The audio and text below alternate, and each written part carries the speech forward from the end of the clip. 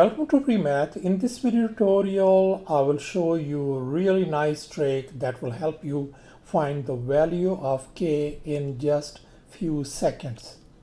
And here is our very first question. It says find the value of k that makes the following trinomial a perfect square. This one, this trinomial, we want to find the value of k. Let's focus on this middle number, the coefficient of x, which is 10. Divide this number by 2. Always divided by 2.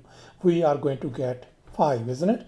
And then final step is square it. So that is going to give us 25. And that is our answer. So thus k equals to 25 is our answer.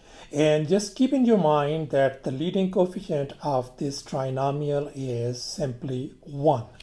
And here is our next example. Let's look at the coefficient of x, the middle number, which is negative 6. Let's write down negative 6 right up here. And as I told you before, always divide this number by 2. We are going to get negative 3 and then we're going to simply square it. And that is going to give us positive 9 and that is our answer. So thus k value turns out to be 9 and that is our final answer. And here is our next example. Let's focus on the coefficient of x which is positive 7. Let me write down 7 and then I told you before divide it by 2.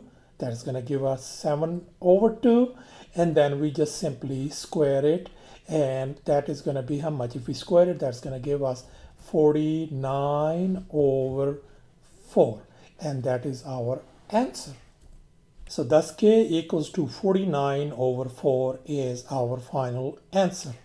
And here is our next example. And once again, let's focus on the middle number, the very, the coefficient of x, which is negative 9, always divided by 2. And then we are going to square it. That's all we have to do.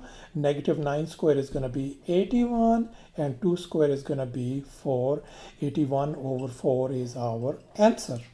So thus k equals to 81 over 4 turns out to be our final answer.